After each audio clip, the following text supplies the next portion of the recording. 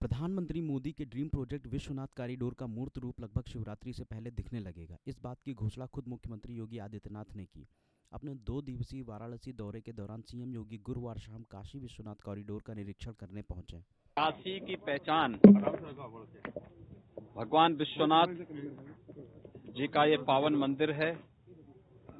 भगवान विश्वनाथ मंदिर की सुंदरीकरण, इस योजना को लेकर के और यहाँ के अति प्राचीन मंदिरों के संरक्षण को लेकर के जो कार्यक्रम चल रहे हैं, इसी कार्यक्रम का निरीक्षण करने के लिए आज यहाँ पर मैं आया हूँ।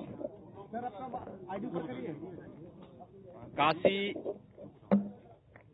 की पुरातन परंपरा, सांस्कृतिक और आध्यात्मिक परंपरा को संरक्षित रखते हुए सुंदरीकरण का जो एक कार्यक्रम चल रहा है, काशी इस पहचान को एक नई ऊंचाइयों तक ले जाने के लिए एक बहुत अच्छा अभियान है और हमारा विश्वास है कि शिवरात्रि के पहले यहाँ पर बहुत अच्छी स्थिति देखने को मिलेगी।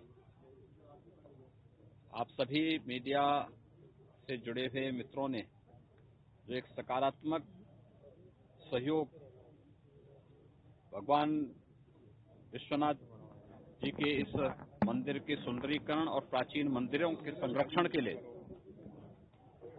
प्रदान किया है। मैं इसके लिए आप सबके प्रति हृदय से आभार व्यक्त करता हूँ। विश्वनाथ मंदिर कॉरिडोर को लेकर चल रहे काम में आज पहली बार एक ऐसा अद्भुत काम हुआ है जो शायद अब से पहले नहीं हुआ था। आज मुख्यमंत्री योगी आदित्यनाथ यहाँ पर निरीक्षण करने के लिए पहुँचे थे कॉरिडोर का। और कॉरिडोर के निरीक्षण के दौरान ये वही रास्ता है ज्ञानवापी का, जहाँ से पैदल जाना मुश्किल होता था। लेकिन आज इस रास्ते से मुख्यमंत्री की गाड़ी अंदर गई है, उनकी सफारी गाड़ी नीचे गई है और नीचे जाकर वापस मुख्यमंत्री हालाँकि पैदल ही ऊपर आए हैं, लेकिन पहली बार विश्वनाथ मंदिर कॉरिडोर निर्माण के बाद जो काम चल रहा है, उसके तहत एक गाड़ी नीचे गई है। और ये ऐतिहासिक है अपने आप में।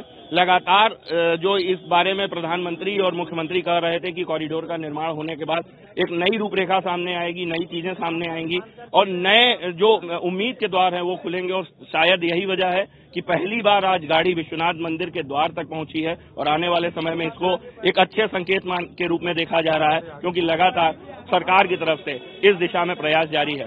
Gopal Mishra E TV Varanasi.